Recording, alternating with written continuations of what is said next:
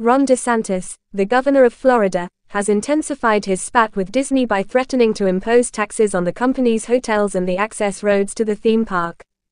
Additionally, he pledged to deprive the corporation of its authority over planning decisions in a district that regulates its land. At a speech in Michigan, he declared, We're going to win on every single Disney related problem. The threat is the most recent incident in the state's ongoing conflict with the business. Mr. DeSantis is seen as the leading Republican candidate and is highly likely to compete in the 2024 presidential race. Mr. DeSantis is seen as the leading Republican candidate and is highly likely to compete in the 2024 presidential race.